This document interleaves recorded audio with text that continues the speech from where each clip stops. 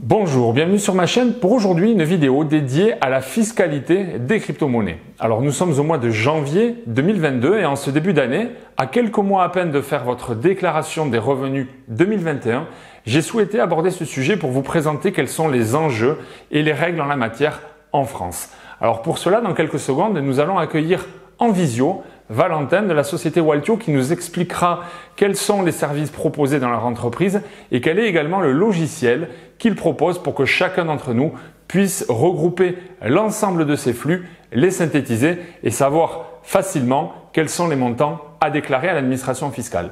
Je vous laisse dans cet échange avec Valentin et on se retrouve à la fin de l'interview pour conclure cette vidéo. Merci. Salut, merci Jérôme euh, de, m'accueillir euh, sur ta chaîne. Écoutez, bonjour à tous. Euh, donc moi c'est Valentin, Valentin Morteroll. Je travaille chez Walcho en produit, donc responsable produit, product lead. en quoi ça, consiste ce poste? C'est vraiment faire l'interaction et la priorisation des nouvelles fonctionnalités sur un produit. Donc nous forcément c'est l'interface Walcho, l'application Walcho, et faire la connexion, l'interaction entre les équipes business et les équipes techniques, donc nos développeurs. Euh, Walcho c'est une entreprise, on est un, aide, un assistant à la déclaration des plus-values euh, en crypto. Donc, on récupère les transactions via des connexions API ou via des fichiers sur vos exchanges préférés ou euh, sur vos portefeuilles de crypto, donc euh, Wallet Ether, Bitcoin, la BSC ou, Binance par exemple. on récupère vos transactions, on les analyse et on vous dit la plus-value que vous avez faite et ce qu'il faut déclarer euh, lors de votre euh, déclaration fiscale. Et alors, euh, on profite de cette introduction et de cette présentation pour dire aussi ce que vous n'êtes pas. Et donc, vous n'êtes pas des conseillers en investissement ni des avocats fiscalistes. C'est bien ça. C'est ça, exactement. Il faut bien faire la différence. et nous, pour ceux peut-être qui sont déjà passés nous voir au support, on le dit de temps en temps, c'est vraiment un métier différent avec les avocats fiscalistes. On ne fait pas de conseils, on ne fait pas d'optimisation on est là pour aider dans la déclaration euh, des plus-values et à récupérer les transactions et à calculer sa plus-value.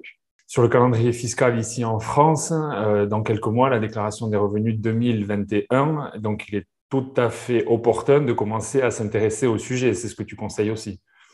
Ouais, ouais, totalement. Euh, pour rappeler même à tout le monde, en fait, la déclaration fiscale se fait toujours un peu avec une année de retard. C'est-à-dire qu'en 2022, on déclare les revenus de 2021. Donc là, la déclaration fiscale se fait toujours sur la période d'avril à mai.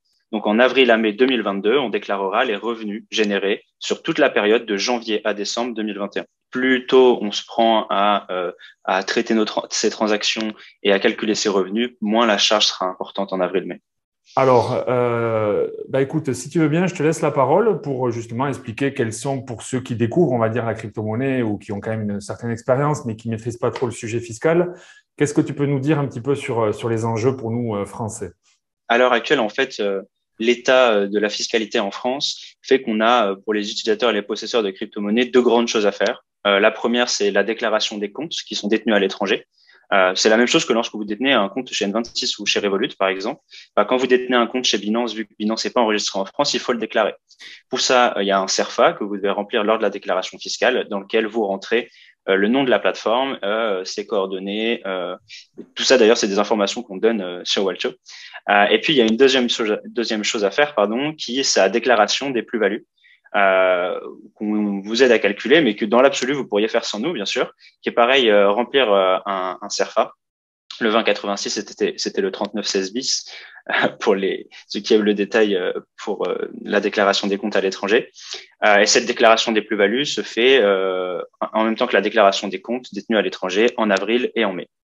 À l'heure actuelle, il faut savoir que la fiscalité des crypto-monnaies, des crypto-actifs, des actifs numériques, comme on dit, c'est quelque chose qui est en train d'évoluer euh, il y a eu une première évolution en, le 1er janvier 2019 qui a amené euh, ce calcul de la plus-value avec la flat tax, les fameux 30%, le fameux flat tax qui fait peur à tout le monde. Euh, et ça, c'est en fait, c'est même assez récent. Hein, c'est arrivé donc le 1er janvier 2019. Euh, chaque année, euh, on se repose des questions sur quelles vont être les évolutions qui vont être amenées. Par exemple, donc il y a régulièrement, tous les ans en tout cas, ce qu'on appelle la commission des finances, euh, cette année, peut-être que vous connaissez le député Pierre Persson, qui est vraiment un peu la tête de pro euh, au niveau crypto et qui porte euh, toutes les questions liées aux cryptoactifs et à la fiscalité des cryptoactifs, en tout cas en France. et j'espère qu'il sera rejoint par d'autres au fur et à mesure, mais à l'heure actuelle, c'est vrai qu'on voit souvent Pierre Persson. neuf amendements ont été déposés et portés par lui auprès de l'Assemblée nationale, et seulement deux ont été acceptés. en général, la réponse qui était donnée, c'était un manque de connaissances de la part de la commission des finances sur le sujet des cryptoactifs et qui devait approfondir ces questions-là c'est un, vu un petit peu comme euh, un échec de la part de la plupart des personnes qui sont qui baignent dans ce milieu-là. Même de notre part, il euh, faut savoir que nous, on a l'habitude de contribuer justement euh, à la rédaction de ces amendements. on discute très régulièrement avec la personne, on rencontre des députés, on rencontre des sénateurs, et ils sont très friands d'avoir des informations de la part d'entreprises françaises en, en plus du secteur. Euh, et euh, ils ont envie d'avoir plus d'informations, mais c'est vrai que clairement aujourd'hui euh, ils sont un peu en retard. On, espère que ça va changer. En tout cas, on fait tout pour. par rapport à, on va dire au fait que les gens soient concernés ou pas par la déclaration, donc j'ai envie de dire, mais corrige-moi si je me trompe, qu'il y a en, fait trois niveaux. Le premier, c'est celui que tu as cité, à savoir on détient un compte à l'étranger, donc on le déclare. une plateforme, un exchange centralisé, c'est bien le cas même si on a, on va dire, euh, peu exercé euh, sur cet exchange. Ça, c'est le premier niveau. Le second niveau, c'est effectivement, on a euh, eu des mouvements, on a investi dans la crypto-monnaie. Pour autant, soit on n'a pas eu de gain parce que voilà, les investissements sont ce qu'ils sont, ils sont négatifs, et auquel cas il n'y a pas eu de prise de gain, ou bien celui qui aurait pris des gains, mais qui aurait uniquement pris des gains en stablecoin et qui n'aurait pas fait le choix de revenir en en fiat, euh, c'est la deuxième population, on va dire, euh, mais n'ayant pas pris de, gains, sont-ils ou pas concernés par cette déclaration de revenus? Et enfin, troisième population, celui qui réellement a eu des gains et les a pris avec un retour euh, en, euros pour ce qui nous concerne. Est-ce que tu, on est d'accord ou pas sur cet échelonnement de population? Ouais, totalement. Dans le cadre de la première personne, euh, elle aura euh, une obligation déclarative qui est la déclaration des comptes détenus à l'étranger, comme tu l'as très bien dit. C'est toujours intéressant de suivre les transactions euh, qu'on réalise parce qu'en fait, le calcul en France fait qu'on doit suivre l'ensemble de ces transactions depuis la première transaction qu'on a réalisée. Donc, même si on a commencé à trader en 2017 et que notre première transaction imposable est en 2021, on va devoir reprendre l'ensemble des transactions de A à Z. Donc, si sur ce laps de temps, vous avez effectué 500 000, 10 000 transactions sur 15 plateformes différentes, sur des exchanges différentes qui ont fermé, vous êtes fait hacker, bah, le travail, en fait, est très chronophage, très complexe. Donc, plus tôt vous vous y prenez, euh, moins chronophage et sera le travail euh, euh, lors de votre déclaration fiscale, en l'occurrence en mai 2022. Donc ça, c'est la première chose. pour le deuxième point, qui sont les personnes qui n'auraient pas effectuer de plus-value parce qu'au sens fiscal, en tout cas en France, les plus-values sont les plus-values imposables réalisées euh, lors d'échanges contre de l'euro euh, ou lors de paiements crypto. Euh, ces personnes, du coup, n'auront pas besoin de faire de déclaration de plus-value, littéralement, parce qu'elles sont restées en stablecoin. Il faut savoir que c'est quand même assez spécifique, euh, ce régime fiscal qu'on a, nous, en France. Aux États-Unis, chaque transaction crypto est taxée. Donc, pour chaque transaction, même si vous faites crypto vs crypto, on va calculer votre plus ou moins value. Nous, on va le faire uniquement, en tout cas en France, sur les transactions crypto tout fiat. Euh, donc c'est bien fiat, hein, c'est pas que euro d'ailleurs. Si vous faites contre euh, de, l'USD ou de la roupie indienne, ça, ça marchera. Euh, et puis pour le troisième cas, du coup évidemment, qui sont des personnes qui ont réalisé des échanges contre soit des fiat ou utilisé une carte crypto, pour ne pas les citer, euh, devront euh, auront une deuxième obligation déclarative qui est la déclaration des plus-values. On a entendu qu'il y avait quand même une évolution et notamment un choix qui allait être offert aux particuliers de rester sur la fameuse flat tax à 30% au regard de l'autre euh, fonction. Si je dis pas de bêtises, c'est le taux IR. Voilà. Exactement, l'impôt sur le revenu. Oui. Donc ça, c'est quelque chose qui effectivement est, est nouveau. Totalement. Justement, c'est un des deux amendements qui a sur les deux sur les neuf dont je parlais tout à l'heure qui est passé. Euh, et donc en fait, euh, le contribuable, en fonction de sa situation, faut savoir que comment euh, à l'heure actuelle la fiscalité est faite sur ce genre de sur ce genre de questions. En fait, au niveau de la commission des finances, ils regardent ce qui se fait par exemple sur deux types de marchés. Donc nous, ils vont nous comparer, enfin dans les cryptos, ils vont comparer à comment on fait sur euh, les marchés boursiers, en tout cas au, regard des plus-values. Et donc en fait, ils se sont dit, bah à l'heure actuelle, sur le marché boursier, il est, il est possible, au lieu de payer euh, une flat tax, enfin les 30%, de euh, passer son imposition sur l'impôt sur le revenu. Donc ils se sont dit, très bien, on va le faire aussi pour les crypto-monnaies. pour résumer, c'est pour simplifier, c'est comme ça que ça se passe. Et donc, euh, à l'heure actuelle, il est possible, normalement, on a le droit de changer une seule fois au cours de sa vie, euh, de passer de la flat tax à l'IR. Euh, de tête, c'est on, on, serait à 28,2% si on gagne moins de 25 000 euros bruts par an. voilà, donc si vous gagnez plus, mal, ça sera pas intéressant. Donc, mais c'est quand même intéressant de l'avoir en tête. Ok, bah écoute, je te propose qu'on rentre dans la présentation du logiciel. On a préparé une petite démo pour aujourd'hui. Ça marche, écoute, merci Jérôme. Donc, euh, on se retrouve sur l'interface euh, de Wildshow. Donc, c'est une web app, euh, comme l'a dit Jérôme. Ça, c'est la première page sur laquelle arrive quand on s'est connecté. Donc, j'ai passé le module de connexion, mais voilà, c'est un module très simple, me connecter, adresse mail, mot de passe. donc, ça, c'est l'interface sur laquelle on arrive. on a la possibilité d'ajouter des plateformes d'échange de crypto ou des portefeuilles de stockage. Faut savoir qu'on a deux possibilités pour ajouter des, des transactions, soit par fichier, soit par API. Par exemple, si on prend Binance, on importe directement sa clé API. Euh, on met son API et son API secrète qu'on retrouve. On a en fait on a une FAQ de plus de 150 tutos. D'ailleurs, on peut retrouver euh, le tutoriel API Binance ici. Et c'est une FAQ pour chaque import de fichier ou import d'API. On vous explique le process, comment récupérer l'API sur euh, votre plateforme, comment la, quelles autorisations mettre, comment la renseigner dans Walcho et faire en sorte que ça fonctionne bien et qu'on récupère toutes, toutes vos transactions. et puis pareil pour vos portefeuilles de stockage. D'ailleurs, on vient d'ajouter Terra aujourd'hui. Euh, donc euh, c'est vrai qu'on avait souvent la question, donc on vient d'ajouter Terra aujourd'hui. Euh, vous allez sur Terra, vous mettez votre clé, euh, ce qu'on a, c'est une clé API, mais en fait c'est votre adresse publique bien sûr, et vous mhm. avez pareil euh, un petit tutoriel. Donc d'ailleurs c'est la c'est la news de la journée, la news du vendredi. Une fois que vous avez ajouté vos différentes vos différentes fichiers, vous allez dans mes fichiers, hop, dans mes transactions. Et alors moi, euh, pour le, pour, le, pour, pour le test et pour que ce soit plus simple, j'avais déjà préenregistré un fichier. On récupère l'ensemble de vos transactions. Donc l'ensemble de vos transactions se récupérées euh, et il y a différents types de transactions qui existent. Vous avez soit des dépôts, soit des retraits, soit des échanges. Il faut savoir qu'un retrait doit toujours être matché avec un dépôt. Euh, Qu'est-ce que ça veut dire? En fait, c'est assez simple.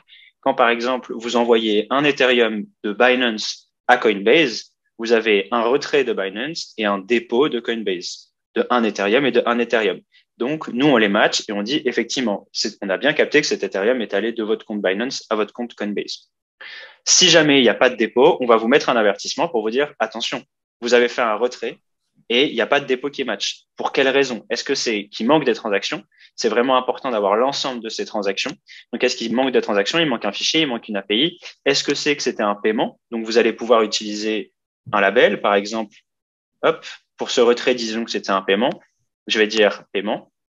Donc, ça va être labellisé en tant que tel par euh, la plateforme et ça, il va y avoir l'impact fiscal euh, tel. Donc, c'est-à-dire qu'un paiement, on va calculer la plus-value et vous allez être imposé sur euh, les 30%. ça peut être j'ai acheté ma Tesla en Ether ou ça peut être j'ai utilisé ma carte crypto, sachant que nous, on utilise des fichiers spécifiques aussi pour récupérer ces transactions, bien sûr. Est-ce que ça sous-entend qu'après avoir euh, laissé mouliner euh, l'API et, et Waltion, il faut d'ailleurs que l'utilisateur revienne dessus pour venir qualifier des, lignes ou c'est pas nécessaire? Alors, euh, ça va dépendre du volume de transactions. bien sûr, je vais être très franc. Si vous ajoutez 500, 5000 ou 10 000 transactions, ça sera pas pareil. souvent, ce qui se passe, c'est qu'en fait, les personnes qui ont beaucoup de plateformes en oublient une parce qu'elles en ont 8, 10, 12. Et en fait, euh, quand elles ajoutent leurs transactions, euh, il y en a une qu'elles n'ont pas utilisée depuis un an. Euh, et du coup, elles ont oublié de l'ajouter. Donc forcément, on va, vous, on va vous afficher des avertissements. Et quand vous allez trier vos transactions, vous allez vous dire, ah mais oui, effectivement, j'ai oublié cette plateforme, vous allez l'ajouter et vous allez relancer une analyse. L'étape d'analyse, je vais vous la montrer après. Vous allez relancer une analyse, on va recapter vos transactions et on va supprimer ces avertissements. En fait, ces avertissements euh, servent à ça, littéralement, hein, à vous faire remarquer les erreurs et pour pouvoir corriger votre calcul. Ok, très bien. Donc, on va passer, euh, donc là, moi, en l'occurrence, il n'y a pas d'avertissement. On va passer à l'étape suivante, qui est l'étape d'analyse. Euh, l'étape d'analyse sert, donc Waltuo enregistre vos transactions en tant que dépôt, échange, euh, retrait.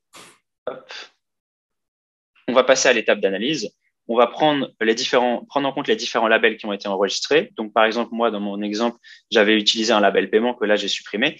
Mais si je l'avais laissé directement grâce à, l'analyse, on aurait capté que c'était un paiement et on l'aurait traité fiscalement de la sorte. On va analyser les retraits non consolidés. Donc, c'est ce que je vous disais tout à l'heure. Un retrait sans dépôt, non matché, c'est un retrait non consolidé. Et là, on va vous afficher un avertissement. Les différentes sessions imposables, on va calculer vos balances Pourquoi on calcule la balance Parce que c'est une des trois composantes du euh, calcul de plus-value. C'est la valeur globale du portefeuille. Euh, et on va regarder potentiellement s'il y a des transactions qui sont illogiques. Donc, si on a des erreurs, nous, dans notre algorithme. On va analyser les prix et les récupérer. Nous, dans notre exemple, on n'avait que euh, deux euh, crypto-monnaies. Euh, on récupère bien les prix du Bitcoin, on récupère bien le prix de l'Ethereum. Il faut savoir qu'on passe par des agrégateurs de prix que vous connaissez sûrement, comme CoinGecko ou CoinMarketCap. Parfait, j'ai pas d'erreur, donc je peux directement obtenir mon rapport fiscal. C'est dans ce rapport fiscal qu'on va avoir notre plus-value réalisée et le montant imposable qui est dû. Et du coup, on arrive, après avoir fait l'analyse, sur la partie rapport fiscal. Euh, le rapport fiscal, c'est là, déjà, on peut le séquencer par euh, euh, les différentes années sur lesquelles vous avez des transactions. Donc, vous pouvez générer des rapports pour les années précédentes. et vous avez votre montant d'imposition qui est en fait le 30% du gain total. Si vous faites 30% de 2671, ça fait 830.3. Vous avez, on, euh, fournit, euh, génère euh, quatre documents. On a le certificat fiscal qui, en fait, au, niveau des impôts, au niveau du fisc, est toujours important de montrer la bonne foi. La bonne foi d'avoir fait des recherches, la bonne foi d'avoir voulu faire ses calculs. Nous, c'est un document qu'on fournit pour justement montrer cette preuve de bonne foi. On fournit une annexe de déclaration annuelle des plus-values, qui est un document qui recense l'ensemble des transactions imposables qui ont été effectuées. Pourquoi c'est pratique? Parce que sur quand vous remplissez euh, votre CERFA, vous pouvez remplir uniquement 20 transactions imposables. Sauf que comment vous faites si vous en avez 50 ou 100 bah, euh, c'est pas vraiment possible à l'heure actuelle. Du coup, nous, on vous fournit ce document, qui est un document que vous allez envoyer avec votre déclaration fiscale quand vous avez plus de 20 transactions ou sessions imposables. Pardon. On vous fournit un grand livre qui est un, document qui est en fait un, ledger de l'ensemble des transactions que vous avez réalisées qui permet de faire un suivi et d'avoir euh, un récapitulatif de l'ensemble des transactions que vous avez réalisées. Euh, ce grand livre, d'ailleurs, peut être utile. On a certains cas euh, pour des gens qui font des retraits d'une somme importante. Souvent, c'est au-dessus de 10 000 euros sur leur compte en banque. Euh, leur banquier leur demande une preuve euh, de cet argent. Et en fait, en donnant le grand livre ou la fiche de stock qui est le document après, on a une preuve de l'ensemble des transactions qui ont été réalisées, donc de la plus-value qui a été générée et donc de la provenance de cet argent. Euh, et la fiche de stock, justement, c'est un inventaire des crypto-monnaies, des crypto-actifs que vous avez. On euh, divise la, la, feuille Excel euh, par le nombre de crypto-monnaies que vous avez. Donc, si vous avez 10 cryptos, ça fera 10 feuilles et on vous affiche l'ensemble des transactions avec un calcul de stock euh, de, vos, de vos cryptos. Et on vous indique les prochaines étapes qu'on a réalisées que vous devez réaliser, bien sûr, pardon, qui est euh, remplir le 39 bis, donc qui est les comptes détenus à l'étranger dont on parlait tout à l'heure. Je vais vous montrer tout à l'heure, mais hop, on a toutes les informations qui sont ici. Euh, et la deuxième étape qui est déclarer euh, vos revenus en actifs numériques, donc qui va être en fait renseigner cette, ce montant d'imposition. Euh, et euh, d'ailleurs, deuxième petite petite, euh, news du jour. info, euh, ouais, news du jour. C'était vraiment pas fait exprès, c'était pas prévu, mais on a lancé aussi aujourd'hui un partenariat avec Tacotax, donc qui est le leader aujourd'hui actuel pour optimiser et réduire ses impôts. donc, on a lancé un partenariat avec eux. Il est affiché depuis aujourd'hui. Donc, il arrive en fin de funnel justement sur Walcho. On va communiquer. D'ailleurs, quand vous allez voir cette vidéo, on aura déjà communiqué. On va communiquer lundi euh, sur ça. Donc, on est très content d'annoncer ce partenariat-là aussi. Et concernant, euh, je vais juste montrer le 3910 du coup, qui est intéressant pour. Euh, donc c'est c'est fourni bien sûr pour toutes les personnes qui ont une licence chez nous à partir de 55 euros. On, parlera du pricing après. vous prenez la plateforme que vous utilisez, par exemple Binance, et directement on vous donne l'ensemble des informations pour remplir. Donc ça en fait c'est une copie écran euh, du CERFA à remplir. Vous ne mmh. pouvez pas remplir dans les petites cases, mais c'est une copie d'écran du CERFA à remplir. Directement, on met les informations, hop, hop, par exemple Bitstamp, vous les copiez et vous les remettez dans euh, votre CERFA euh, à remplir.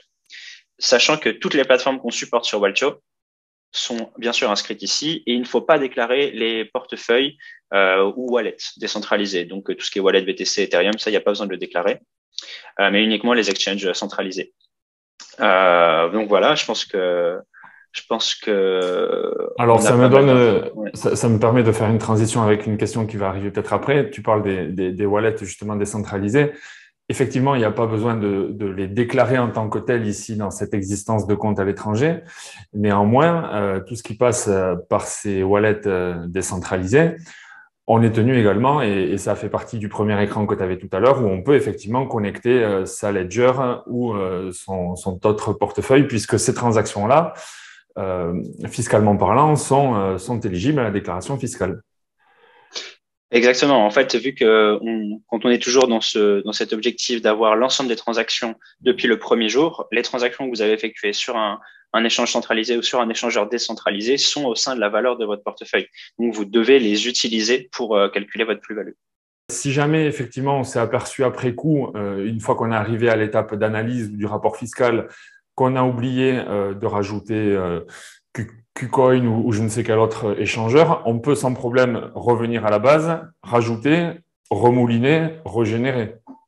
Totalement. En fait, vous pouvez faire autant d'analyses et générer de rapports fiscaux euh, que vous, souhaitez. Au contraire, euh, il faut en faire plusieurs, surtout quand on a un compte avec euh, pas mal de transactions, parce qu'en fait, l'étape d'analyse, au fur et à mesure qu'on va faire des corrections, on va relancer une analyse, on va voir si nos corrections ont bien été prises en compte, si ça a diminué nos erreurs. Potentiellement, on va utiliser la fiche de stock pour regarder les avertissements de balance insuffisantes et pouvoir les corriger. Donc, par exemple, on va avoir une balance négative. Euh, ça, c'est un avertissement dont j'ai pas parlé, mais c'est quelque chose qui est assez important. En fait, euh, la raison est assez simple. Nous, on fonctionne euh, une balance par plateforme et par crypto. Donc, si demain vous faites un retrait de 1 Ether depuis Binance et que pour nous vous aviez que 0,5 Ether dans votre portefeuille, ben on va vous dire ben non, c'est pas possible. Vous nous dites que vous avez 0,5 Ether et vous voulez retirer un Ether. Donc, qu'est-ce que ça veut dire? Ça veut dire qu'il manque soit un dépôt de au moins 0,5 Ether juste avant, soit par exemple un échange de quelconque crypto-monnaie contre un Ether juste avant, ce qui va venir compenser les 0,5 euh, transactions, 0,5 ETC, ETH manquant, pardon. Donc, on va vous afficher un avertissement et on va euh, vous indiquer comment le corriger. Euh, il faudra télécharger votre fiche de stock justement dans votre rapport fiscal et vous pourrez voir la petite balance négative. Tout ça, justement, c'est des avertissements qu'on va venir euh, vous apporter un support supplémentaire au sein de l'analyse euh, dans la nouvelle version. On va vous indiquer euh, les différentes balances insuffisantes que vous avez. Si c'est des petites sommes, on va vous proposer de les compenser, c'est-à-dire qu'on va vous proposer de créer un petit dépôt pour venir compenser le dépôt manquant.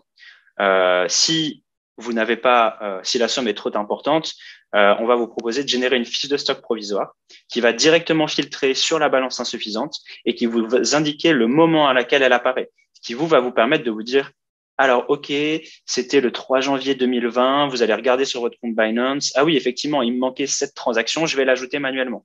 Parce que c'est quelque chose dont j'ai pas parlé, mais vous pouvez ajouter bien sûr manuellement des transactions, soit depuis l'interface, soit via un fichier au format Waltio, quand vous avez beaucoup de transactions à importer qu'on retrouve ici. Et d'ailleurs, Zapper, troisième petite nouvelle qui a été intégrée aussi aujourd'hui, mais vous avez euh, le, format Walcho qui est ici. C'est un fichier dans lequel vous rentrez l'ensemble des transactions qui vous manquent. C'est très utile quand, par exemple, euh, vous avez utilisé une plateforme qu'on supporte pas encore. Euh, au lieu de rentrer manuellement l'ensemble des transactions une à une, qui est très chronophage, vous pouvez les rentrer dans un fichier Excel et directement l'importer sur Walcho. Très bien. Alors, euh, d'avoir vu euh, Just Mining également, ça me, fait poser, ça me, ça me permet d'aborder notre remarque. Euh, Just Mining étant une entreprise française et qu'on salue bien évidemment, ne fait pas partie des comptes à déclarer sur la phase 1, puisque là, en l'occurrence, on n'est pas sur un compte tenu à l'étranger. Donc ça, c'était une petite parenthèse. Ouais, totalement. Et effectivement, je vais rajouter quelque chose où il faut bien faire une différence. Souvent, on pense que c'est donc tous les PSN qui sont les prestataires de services et d'actifs numériques qu'il ne faut pas déclarer c'est pas tous les PSAN, c'est tous les acteurs français. Et ça, ça fait la différence. C'est-à-dire que, par exemple, un acteur comme Bitpanda qui a son, BS, son PSN, pardon, il faut le déclarer parce que c'est un compte détenu à l'étranger. Même s'il a l'agrément français. Totalement. Ah, alors, euh, enfin, dans les, dans, les, dans les années à venir, l'ensemble euh, des euh, plateformes centralisées qui voudront proposer des services de vente et d'achat de crypto-monnaies à des clients français devront avoir ce PSN. D'ailleurs, Binance est en train de, dans le, dans le process de l'avoir. Oui, c'est ce qui tend euh, de manière euh, générale euh, à la régulation. alors, avant qu'on en arrive aux, questions, on parlera pricing encore un peu plus tard. Est-ce que tu veux ajouter des choses ou, on aborde un petit peu quelques questions-réponses?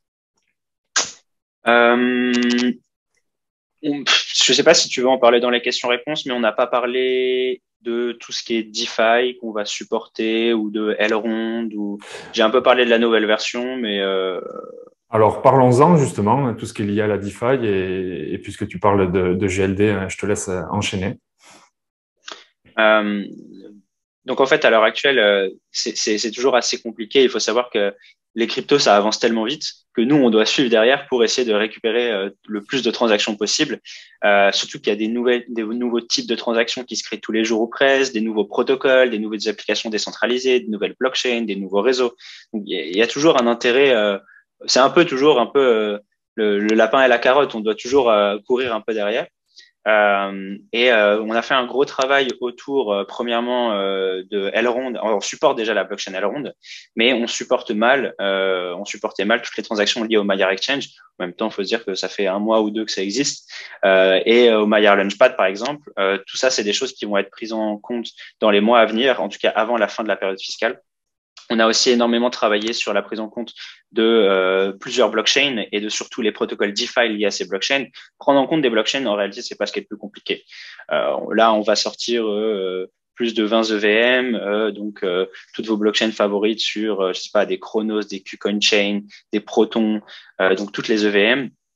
Euh, des Matic bien sûr, euh, Avalanche Chain, tout ça, ça va arriver, mais aussi euh, des protocoles et des DApp DeFi qui sont construites sur ces blockchains. Et c'est là où c'est plus compliqué à les prendre en compte. Il y a, on a eu, il y a un gros travail qui a été effectué dessus, et tout ça va, va arriver avec plusieurs dizaines, si ce n'est centaines de DApp qui vont être prises en compte aussi. On aura des informations d'ailleurs dans la nouvelle version. quand on ouvre une transaction, on aura un petit onglet avec euh, l'ensemble des euh, transactions euh, DeFi, des informations liées vers Etherscan, voilà, pas mal de choses comme ça. Quand on, quand on a échangé la toute première fois, qu'on a abordé le sujet de la fiscalité et, où j'ai souhaité faire appel à vos, à vos services, tu m'as dit une phrase que j'ai retenue qui m'a dit bon, la fiscalité crypto, ça paraît être un gros sujet, mais, mais en soi, ça reste simple. Ça m'a marqué, mais ça reste simple peut-être pour toi parce que tu es vraiment imbibé dedans. Mais quand on voit l'étendue des fonctionnalités que vous avez ou vous êtes en cours de développement, c'est quand même très très complexe. Il faut avoir euh, une vraie ouverture vers tous ces systèmes qui, euh, qui, ne cessent d'apparaître euh, chaque jour, chaque semaine. Quoi. Je, suis totalement d'accord avec toi, je peux être que d'accord. en réalité, le truc, c'est que comme je disais tout à l'heure, on, court un peu derrière l'innovation. On est dans un milieu qui bouge tellement, les cryptos.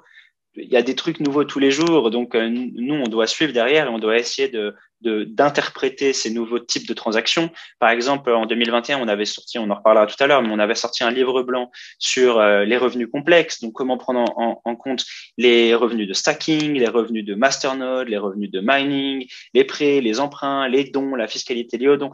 Donc il y a énormément de choses. On essaye de, on a la chance justement chez Wildcho d'avoir beaucoup de gens qui sont, euh, on peut dire, experts euh, euh dans euh, l'écosystème crypto, l'écosystème blockchain, qui connaissent du monde, qui connaissent les protocoles, les DAP. Donc ça nous permet vraiment d'aller très vite et ça nous permet de parler, ça nous permet de parler d'égal à égal aussi à, avec nos clients. On a, on a des clients qui sont très pointus sur sur la blockchain et sur les cryptos, sur l'écosystème de manière générale. Donc ils sont très contents d'avoir, de pouvoir échanger avec des gens qui sont aussi pointus qu'eux. donc ça c'est une chose. Euh, et ça nous permet euh, vraiment d'avancer très vite et de suivre au plus proche les besoins euh, des clients. Ben, par exemple, on va supporter Polkadot, j'en ai pas parlé, mais il y a des choses, on parlait d'écran de Loan, que ce soit sur Kusama ou sur Polkadot, ben, c'est des choses qu'on connaît et qu'on veut et qu'on supportera. Alors là, on a été loin hein, dans la partie technique. J'espère qu'on n'a pas perdu trop trop de personnes en route. Hein. Euh, si on revient effectivement sur quelque chose de plus euh, de, plus simple entre guillemets, mais, mais c'était important quand même d'aborder ce sujet. Si on revient sur des choses un petit peu plus simples, celui qui a démarré la crypto il y a, quelques mois, quelques voilà, qui en 2021 y est rentré et qui là aujourd'hui se pose vraiment des questions à savoir est-ce que j'ai besoin d'un tel outil? S'il n'a pas un tel outil, euh, avec Excel, il est vite dépassé. On, l'a vu parce que des croisements de lignes, euh, c'est vite monstrueux. Et en plus, euh, voilà, le, calcul de la plus-value en fonction euh, du prix d'achat, du prix de vente. alors, ce qu'on n'a pas dit, mais on va en parler aussi, si on utilise une carte, une carte bancaire adossée à la crypto, c'est pas parce que c'est une carte crypto qu'il faut l'ignorer. ouais, il y a, y a, un vrai, un vrai usage derrière Waltio et, une, nécessité d'avoir un tel outil. Bon, tu ne peux que le confirmer. Je peux que le confirmer. Euh, là où je vais pas euh, non plus mentir, c'est que pour une personne qui réalise une ou deux transactions par an, il n'a pas forcément d'avoir besoin d'avoir un outil comme Walcho, mais dès que vous dépassez les quelques dizaines, centaines de transactions sur l'ensemble, sachant qu'on doit reprendre l'ensemble des transactions depuis le premier jour, euh, c'est très chronophage de faire sans un outil comme Walto. En fait, la réalité, c'est que quand Pierre et Ben euh, et Benjamin ont fondé la société, en fait, euh, l'idée venait aussi un peu de Pierre et ils se sont rencontrés comme ça. C'est que lui, il le faisait un peu par lui-même. Et en fait, lui, il, avait une bonne connaissance d'Excel, on va dire, parce qu'il était business analyst. Et, euh, et donc, euh, même lui qui était très fort en Excel, il trouvait que c'était un enfer, quoi. Mm. Et euh, c'est là où il s'est dit, mais si on proposait une solution euh, où en fait on codait euh, la fiscalité française, c'est comme ça qu'est qu né Walter. Vous n'êtes pas à la recherche d'un label gouvernemental? À l'heure actuelle, un coup de tampon qui dirait solution approuvée. À, à l'heure actuelle je sais pas, je pourrais pas dire qu'on est à la recherche ou qu'on n'est pas à la recherche. Euh, je pense que toute entreprise a envie d'être, euh, bien sûr, euh, revendiquée par le gouvernement. Là n'est pas la question, mais quand ils vont commencer vraiment, et c'est pour ça d'ailleurs qu'on rencontre régulièrement des sénateurs, qu'on rencontre régulièrement des députés, c'est pour se faire connaître, c'est pas anodin, hein. mm. c'est pour se faire connaître. Et, et peut-être qu'un jour ce genre de label existera, qui sait. Alors, si tu veux bien, on va, on va avancer sur quelques questions, euh, Valentin. Alors, j'en ai recueilli quelques-unes euh, par le biais euh, bien, du canal Telegram. Ça me permet de vous remettre l'adresse ici pour, pour ceux qui ne connaissent pas encore l'autre réseau en dehors de la chaîne YouTube qui me permet d'échanger avec, avec la communauté. Et donc, j'ai recueilli un certain nombre de questions. Alors, on a essayé de, de les travailler, de les, de les filtrer.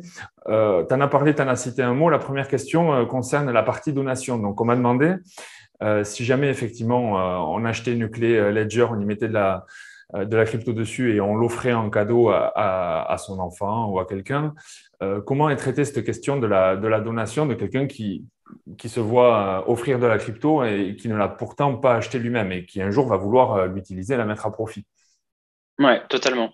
En fait, la fiscalité sur les dons crypto est la même que la fiscalité sur les dons de manière générale. Euh, donc, par exemple, si vous faites un don à quelqu'un qui n'est pas ce qu'on appelle parent, donc euh, un parent proche, ça va être 60%. Euh, donc, c'est bien plus désavantageux que la flat tax. Donc, ces fameux 60%, vous pouvez utiliser, d'ailleurs, je peux vous montrer, vu qu'on est toujours dessus, euh, si je fais un retrait, vous pouvez utiliser un label hop, don, donation sur Walcho.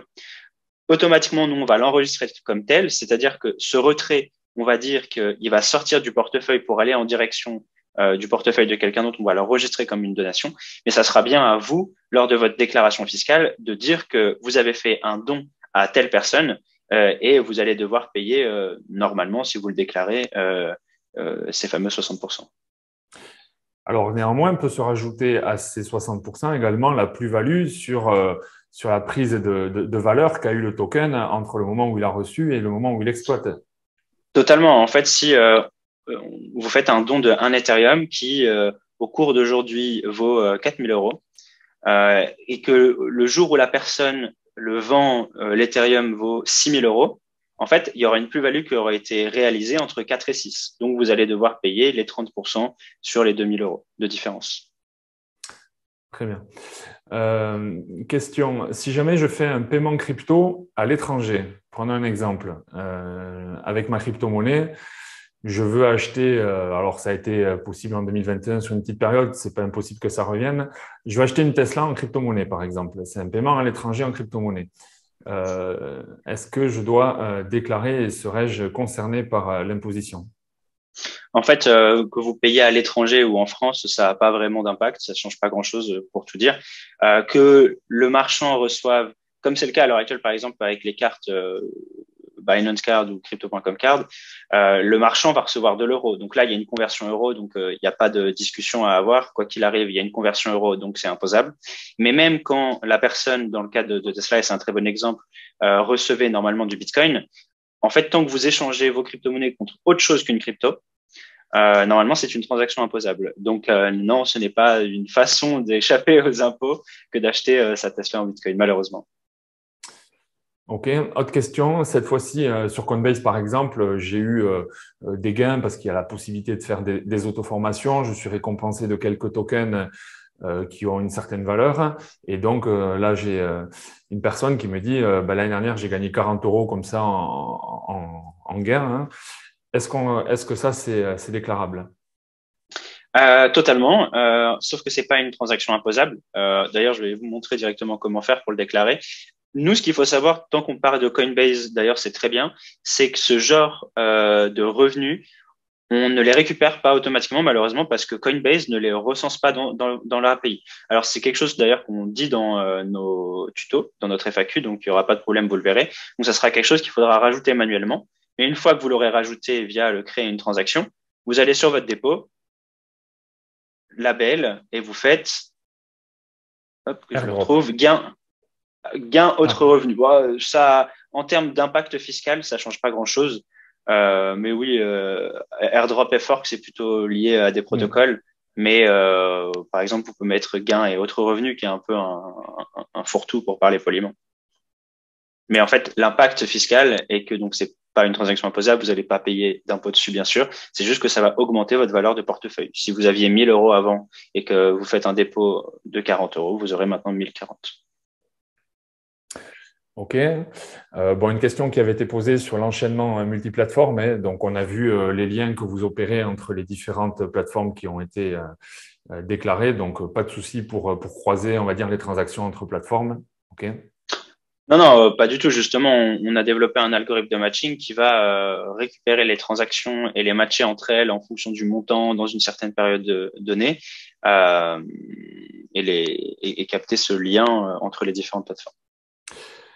Quelqu'un qui m'a posé une question ce matin, euh, je te la pose comme ça, euh, puisqu'aujourd'hui, euh, on est un peu en journée rouge dans le marché, mais bon, ça c'est voilà le principe de la, crypto et de la volatilité.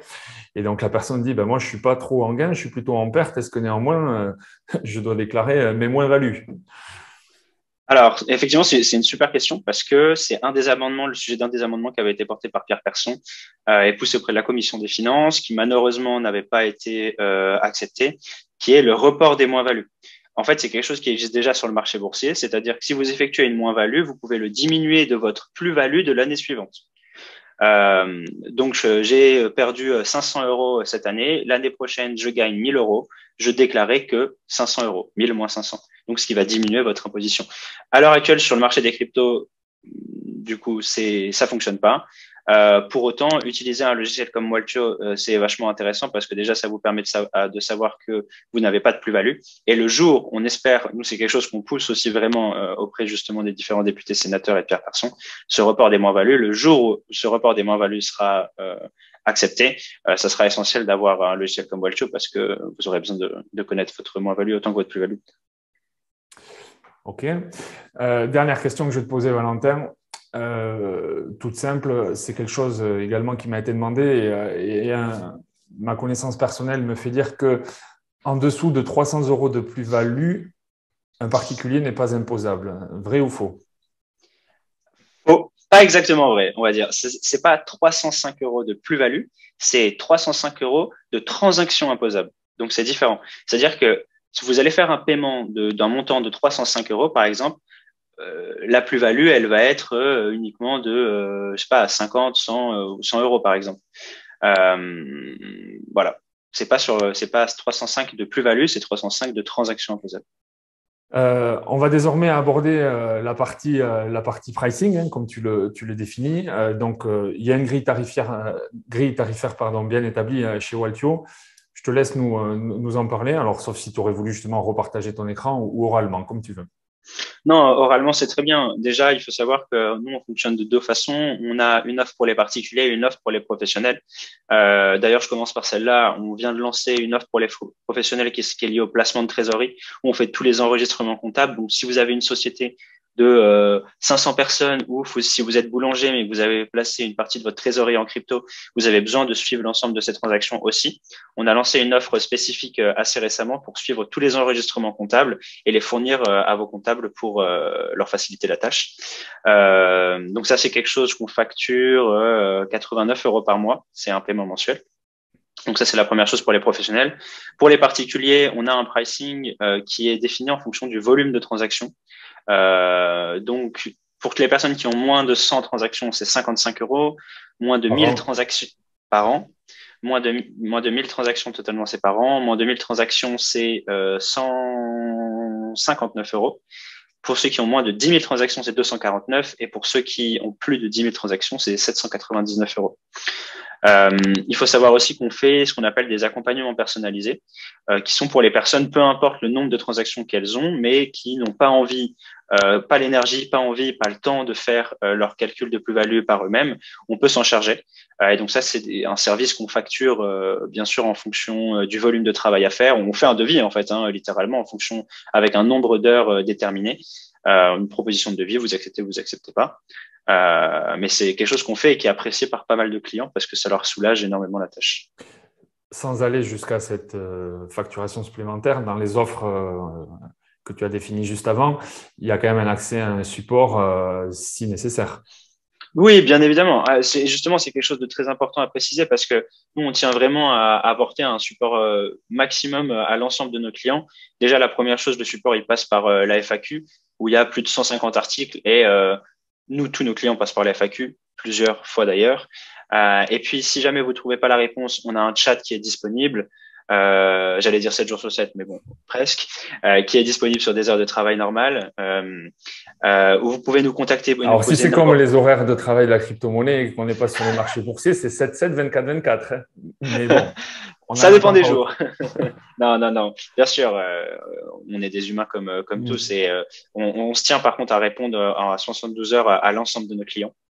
Donc ça, c'est vraiment quelque chose qu'on tient et à répondre à l'ensemble de nos clients. Je pense que c'est quelque chose qu'on réussit bien à faire. on a plutôt des bonnes notes sur autant sur TrustAdvisor que sur Google. Donc, c'est vrai que c'est quelque chose qui nous satisfait énormément.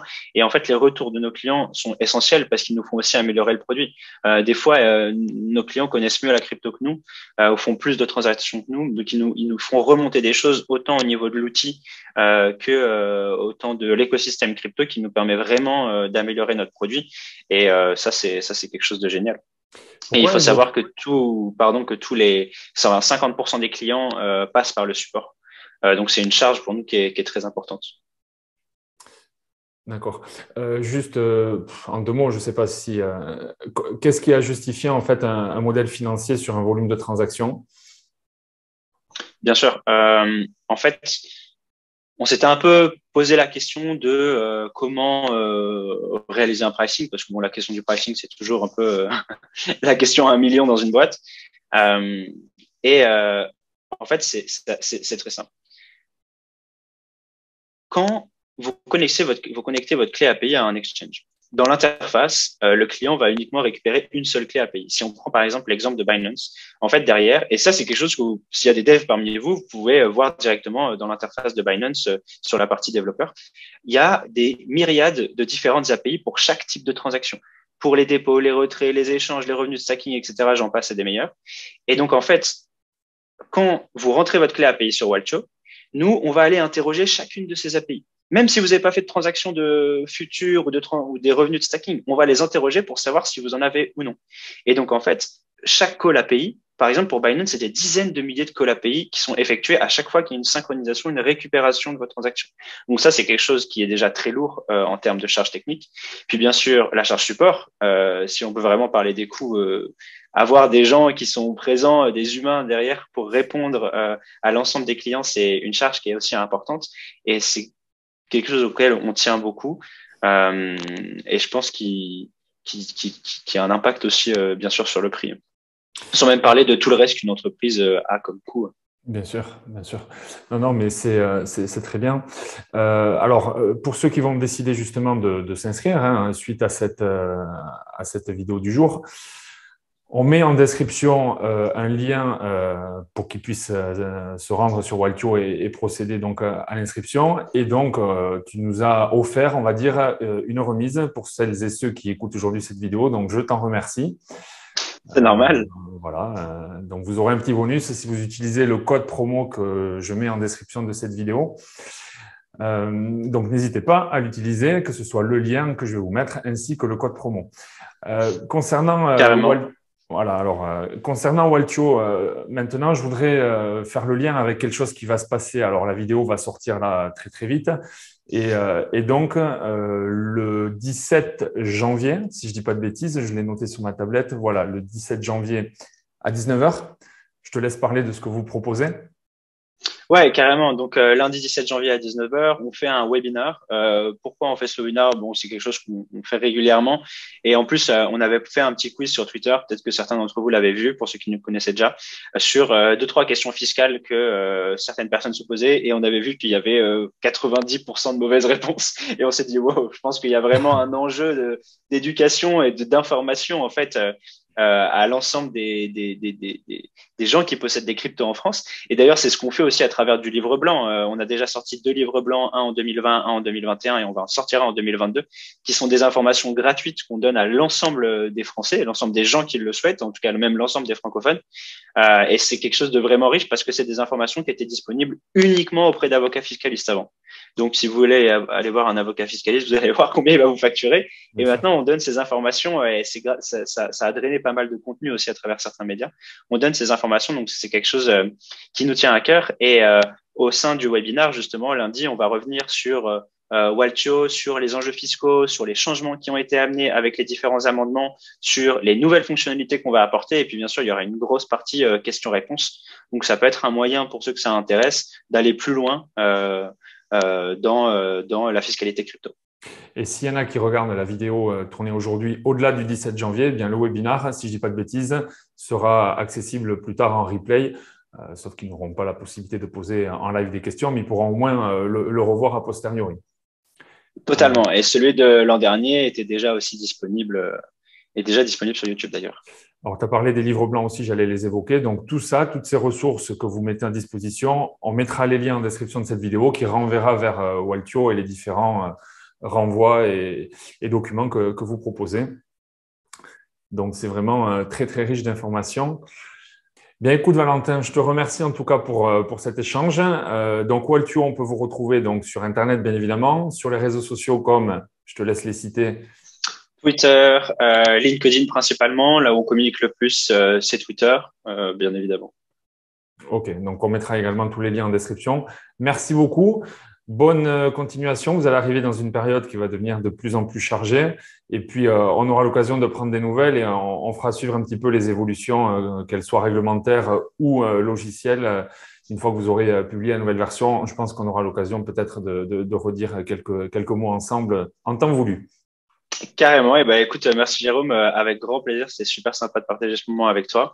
Euh, N'hésitez pas si euh, vous voulez passer nous faire un petit coucou sur le support euh, en disant que vous venez de, de, la vidéo, ça nous fera plaisir. et puis, au revoir à tous. Voilà, je vous remercie d'être resté jusqu'à la fin de cette vidéo. J'espère que ce long échange avec Valentin t'auras donné des réponses aux questions fiscales que tu te posais jusqu'alors. S'il te reste quand même des questions, n'hésite pas à me les poser en commentaire. J'essaierai d'y répondre soit moi-même, soit en allant à nouveau interroger les équipes de Waltio pour essayer de pouvoir y répondre le plus précisément possible. Alors, comme on l'a vu également dans cet échange, il y a la possibilité pour toi d'obtenir une remise sur l'acquisition d'une licence Waltio. Je te mets ici aussi en description le lien direct pour y souscrire ainsi que le code promo qui te permettra d'avoir remise. Voilà, j'espère que ce contenu t'a plu. Si c'est le cas, n'hésite pas à me lâcher un pouce. Tu sais combien c'est important pour moi pour le référencement de cette chaîne qui grossit de plus en plus, dans laquelle nous parlons de sujets liés à la blockchain et à la crypto-monnaie. Donc si tu n'as pas vu les précédentes vidéos, ben, je t'invite à venir t'y promener. Tu trouveras certainement du contenu très intéressant. Et si tout ça te plaît, eh bien également, tu peux t'abonner, activer la cloche pour recevoir une notification dès lors que je publierai une prochaine vidéo. C'est tout pour aujourd'hui, je te remercie et puis je te dis à très bientôt sur cette chaîne. Bye bye